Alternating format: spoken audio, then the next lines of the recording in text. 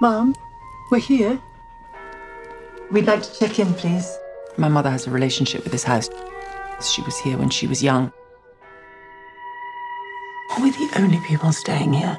I don't know.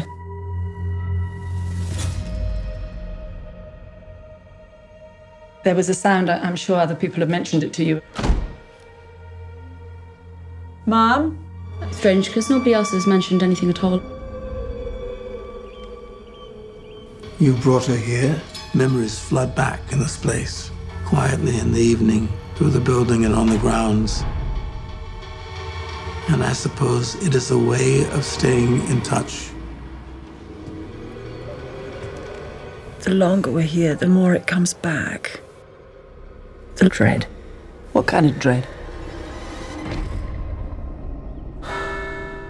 Happy birthday, Mum. To us.